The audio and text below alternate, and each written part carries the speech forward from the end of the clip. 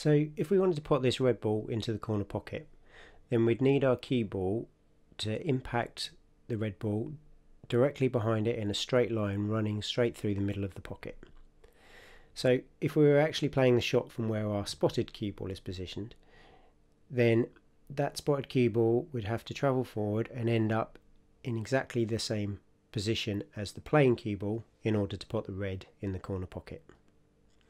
So obviously in reality we don't have a second cue ball so we need to imagine that cue ball in that position which is why we call it the ghost ball.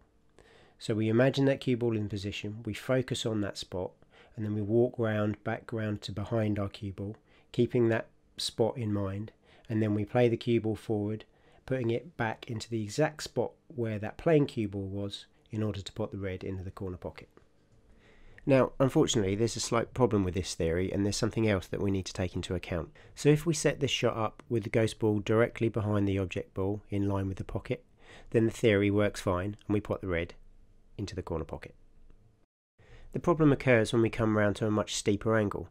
If you follow the theory and set up the ghost ball behind the object ball as before, you might expect the red ball would be potted into the corner pocket, but unfortunately this is not what happens.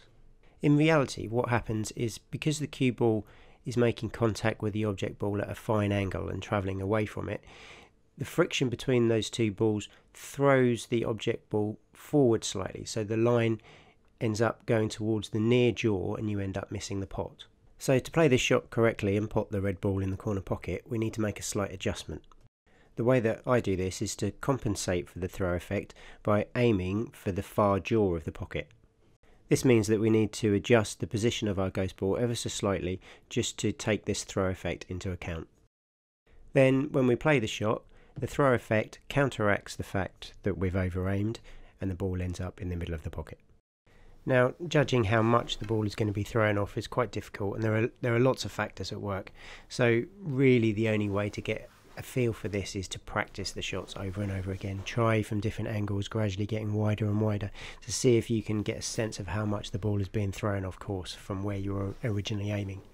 Just be aware that you know when when you play the particularly fine shots, the ball is going to be thrown out slightly, and it's something you need to to compensate for.